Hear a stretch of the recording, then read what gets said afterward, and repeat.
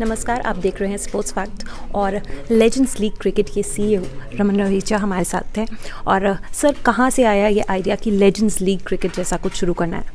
देखिए हमारे सब में क्रिकेट फ़ैन है जो इन हीरोज़ को देख करके हमारी उम्र गुजरी बड़े हुए। और जब ये फैंस उनको देखते हैं कि कुछ क्रिकेटर्स जिनमें अभी भी कुछ बाकी होता है एक्टिव क्रिकेट बट उनको रिटायरमेंट लेनी पड़ती है फोर्स्ड रिटायरमेंट क्योंकि यंग लेग्स आ जाती हैं कुछ नए क्रिकेटर आ जाते हैं तो ये प्लेइंग इलेवन में नहीं हो पाते।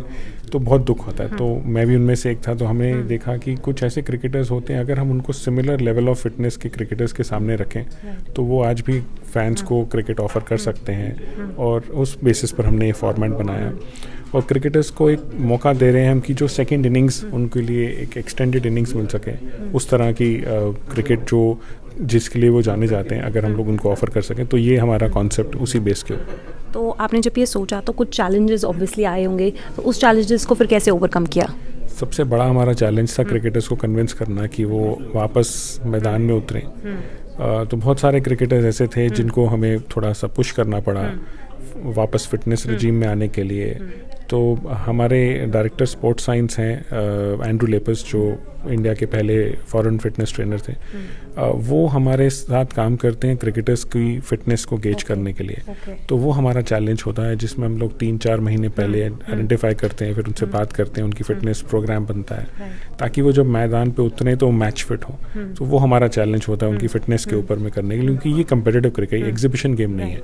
एक बार ऐसी मज़ाक में आने की बात अलग होती है और सीरियस क्रिकेट खेलना अलग। तो इस चैलेंज को करने के लिए हमारे टीम साथ में लगी होती है। आपने मैं सुबह आपकी प्रेस कॉन्फ्रेंस सुन रही थी आपने बोला कि अभी चार टीम्स हैं और अगले साल से we are going with two more teams तो ये कहाँ से कि दो और टीम्स और उसके बारे में आप कुछ डिस्क्लोज करना चाहेंगे या need to wait for that yes of course you have to wait but हाँ ये डेफिनेट है कि हमारी चार फ्रेंचाइज अभी ऑलरेडी आ चुकी हैं और चारों बहुत बड़े कॉर्पोरेट्स हैं। अ, तो नई टीम अगले सितंबर जो सीज़न होगा उसमें हमारे साथ में जुड़ेंगी।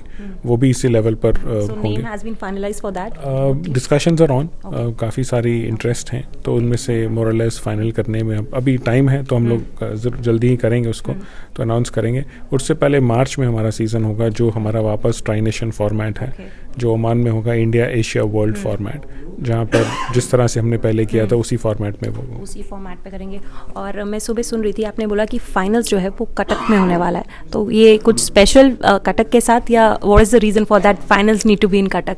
देखिए फैंस जहाँ पर हम लोग जिनको डिमांड होती है फैंस की ज़्यादा तो हम लोग उसी को देख करके मद्देनज़र रख के हम लोगों ने डिसाइड किया कि कटक वहाँ इंटरनेशनल क्रिकेट कुछ कम देखने को मिला है और ऑडियंस बहुत प्यार मिल रहा है वहाँ से। हम लोग अभी ऑलरेडी तीन मैचेस जो हमारे अगले हैं उसके लिए काफ़ी अच्छा रिस्पांस मिल रहा है तो इसलिए हमने कटक डिसाइड और आप जगह जगह कवर कर रहे हैं तो किस तरह से रिस्पांस आपको मिल रहा है फैंस का या लोगों का जहाँ पे भी आप ट्रैवल कर रहे हैं? क्योंकि कोलकाता आपने ट्रैवल किया है और डिफरेंट प्लेसेस आप ट्रैवल कर रहे हैं।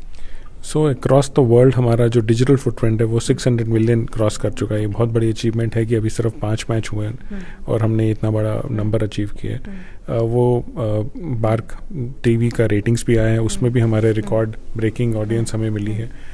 तो बहुत अच्छा लग रहा है कि फैंस हमें जगह जगह पर प्यार दे रहे हैं और हम कोशिश ये कर रहे हैं कि क्वालिटी ऑफ़ क्रिकेट ऐसा रहेगा तो फैंस जुड़ते रहेंगे। उसको उसको उनको फैंस को क्रिकेट देखना है। और जब ये स्टार्स क्रिकेट खेल रहे हैं और कम्पीट कर रहे हैं मैदान में बिल्कुल जैसे यंग डेज़ में होता था वैसे ही पैशन उसी जुनून के साथ। तो बहुत अच्छा लग रहा है इसमें तो। और सुबह की प्रेस कॉन्फ्रेंस में एक और चीज़ मैंने नोटिस की थी कि आपने बोला कि अगले सीज़न में कुछ नए प्लेयर्स आने वाले हैं।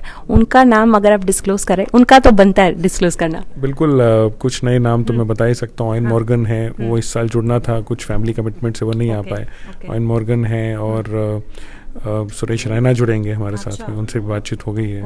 और उम्मीद करते हैं कि रॉबिन उत्थप्पा है वो भी हमारे साथ में जल्दी उसमें आएँगे। और बड़े सारे इंटरनेशनल खिलाड़ी जो इस बार नहीं आ पाए किसी वजह से डेल स्टेन है मैथ्यू हेडन है गिलक्रिस्ट हैं ये हमारे साथ में ज़रूर जुड़ेंगे इंसान साल so thank you so much और ये थे हमारे साथ लेजेंड्स लीग के सीईओ रमन रहेजा। उन्होंने बताया कि जो अगला सीज़न होने वाला है, वो इससे बेटर होने वाला है और इसमें दो नई टीम्स जुड़ेंगी।